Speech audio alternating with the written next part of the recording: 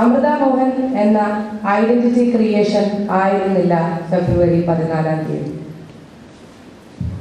ഞാൻ ഒരു കോൺവെന്റ് സ്കൂളിൽ പഠിച്ച കുട്ടിയാണ്. കോൺവെന്റ് കോളേജിൽ പഠിക്കുന്ന കുട്ടിയാണ്. നാളെ എല്ലാവരും കയറി അടിക്കണം എന്നല്ല ഞാൻ പറഞ്ഞത്. ബട്ട് പ്രതികരിക്കാനുള്ള ശക്തി നമ്മളിൽ എല്ലാവരും ഉണ്ടാവണം. I'm not exiting my voice just to things stand up be bold and know that you are the creator of your own destiny മുന്നോട്ടടങ്ങാത്ത നിൻകൊടുങ്കാറ്റിൻ വെണ്ണിക്കൊടിയുമായി പോകും യുവത്വമേ തോൽക്കാൻ മനസ്സില്ലെങ്കിൽ തോൽപ്പിക്കാൻ ആരും ഉണ്ടാവില്ല thank you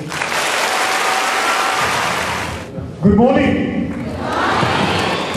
I thought it's better to stand here and talk to you than to be stuck behind the podium, right? Taught us a great deal about some of the many faces of women in today's India. I loved listening to Gauri Krishna sing. I thought it was so beautiful, I didn't want to come and speak. I wanted the music to continue. And then I loved having Amritha come up and say what she said to you. Because that determination to stand up for yourself is also an indispensable part of being a woman today.